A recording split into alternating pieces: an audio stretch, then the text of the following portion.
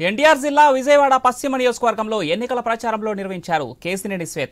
ఎన్నికల ప్రచారంలో భాగంగా వస్త్రాలతలో పర్యటించారు. ముప్పై ఎనిమిదవ డివిజన్ లోటస్ అపార్ట్మెంట్ వాసులను కలిసి గడప గడపకు ప్రచారం నిర్వహించారు.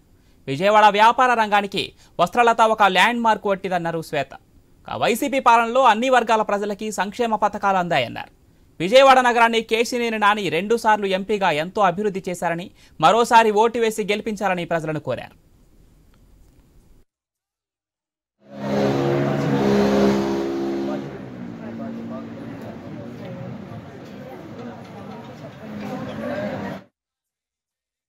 రెండో తారీఖు ప్రతి నెల కూడా పెన్షనర్స్కి వాలంటీర్స్ ఇంటికి పెన్షన్ తీసుకెళ్ళడం అనేది గత ఐదు సంవత్సరాలు కూడా అందరూ చూడటం జరిగింది.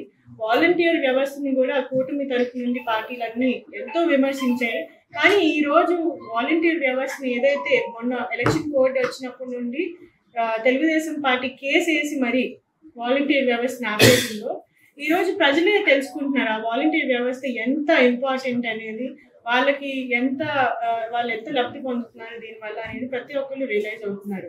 ఈ రోజు వృద్ధులు అలాగే పెద్దవారు అందరూ కూడా చాలా ఇబ్బంది పడుతున్నారు. ప్రతి నెల ఫస్ట్ రెండో తారీఖు కల్లా వాలంటీర్లే వచ్చి ఇంటి దాకా పెన్షన్ ఇచ్చారు. అలాంటిది ఈరోజు మండు టెన్నుల్లో ఎండల్లో ఈ రోజు నుంచుని బ్యాంకుల దగ్గర నుంచి వాళ్ళు డబ్బులు డ్రా చేసుకోవాలంటే ఎంత కష్టపడుతున్నారో ప్రతి ఒక్కరికి తెలుస్తుంది.